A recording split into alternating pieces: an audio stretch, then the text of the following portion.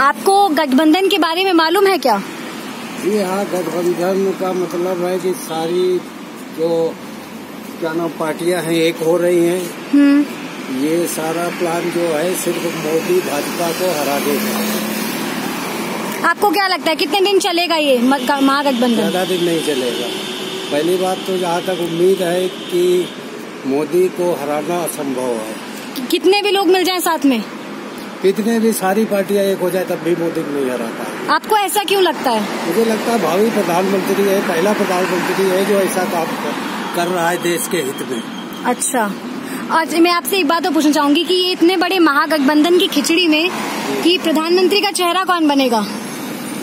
देखिए प्रधानमंत्री कोई पता नहीं इतनी खिचड़ी जब बनेगी जैसे कि एक बार तुम्हारे ये आ गए थे तुम्हारे क्या नाम नरसिम्हा राव वगैरह जब जैसे आ गए ना और एक वो कौन था देवे गौड़ा। छोटी सी पार्टी का भी आ सकता है तो इनके तो आपस में ही जंग होने लगेगी तो क्या कहा जा सकता है इसके बारे में? अच्छा एक बात बताइए ये जो गठबंधन है सपोज़ इसकी अगर सरकार बन भी जाती है तो कितने दिन टिक पाएगी ये सरकार?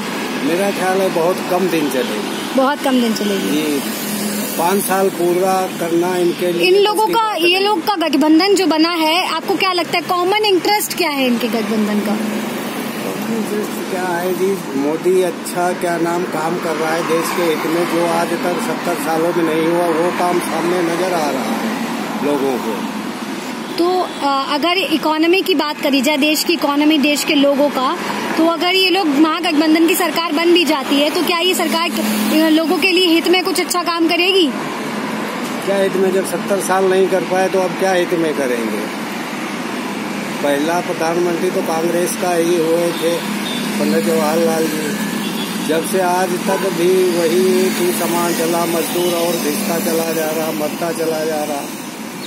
कोई भी ऐसी सरकार नहीं आई है जो कि थोड़ा गरीब आदमियों के बारे में सोचे, लेकिन प्रधानमंत्री जी नरेंद्र मोदी है जो कि आज तक नहीं है, वो कर रहे हैं, वो भारत में, उत्तर प्रदेश में, कई जगह बिहारों में कर रहे हैं, कई चीज़ें कर रहे हैं जो कि नई नई देखने को मिल रही हैं।